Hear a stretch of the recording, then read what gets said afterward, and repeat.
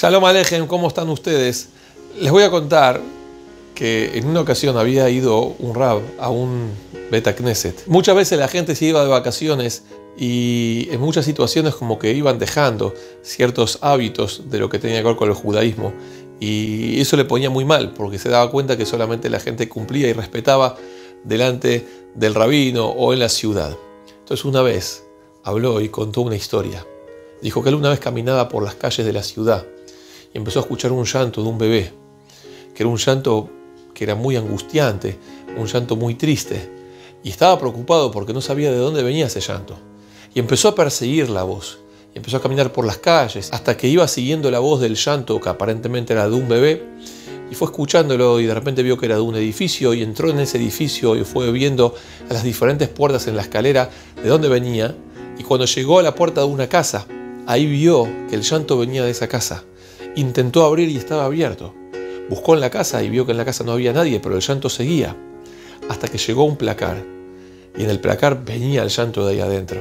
Entonces el hombre preocupado abrió las puertas del placar y del placar encontró que no había un bebé, había un talet. Y el talet estaba llorando. Entonces el rabino les contó a la gente, le preguntó al talet, ¿por qué está llorando? Le dijo, porque mis dueños se fueron de vacaciones se llevaron todo. Llevaron la caña de pescar, llevaron las raquetas, la pelota, llevaron para hacer asado. Pero a mí me dejaron acá. Entonces el rabino le dijo al talet, quédate tranquilo, no llores, porque va a llegar un día que tu patrón va a dejar todas esas cosas y se va a ir con vos. Porque cuando él cumpla los 120 años y se despida del mundo, no se va a llevar nada abajo del pozo, sino lo van a envolver con el talet. Va a quedar contigo hasta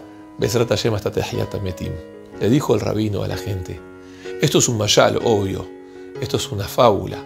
Pero el mensaje está más que claro. Cada uno de nosotros tiene que saber que todo eso que nos acompaña, todo ese tipo de accesorios que nos van acompañando en la vida, no van a ir con nosotros debajo de la tierra o en el cielo después de los 120 años. Solamente mitzvot y maasim tovim, eso nos va a acompañar a nosotros hasta siempre. Baruja Adonai Leolam. Amén. Ve amén.